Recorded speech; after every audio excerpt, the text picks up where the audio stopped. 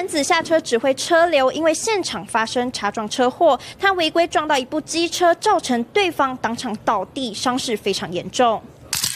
其实当时连人带车倒地，安全帽都被撞飞，车身严重变形，车壳也都散落一地。送医之后还是宣告不治。他的身份是桃园交大杨梅分队的员警。他特别的喜好就是滑雪，他每年都会出去滑雪。去哪里滑雪？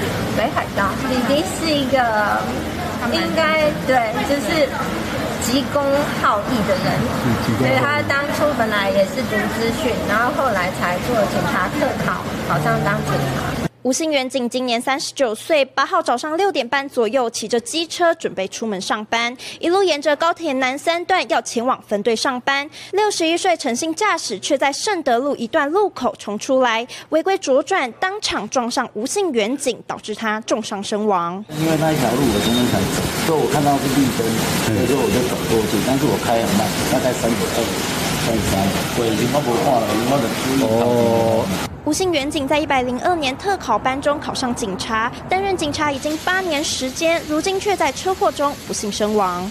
本分局吴姓远警于今日上午上班途中不幸发生车祸，因公死亡。将全力协助家属处理丧葬及抚恤相关事宜。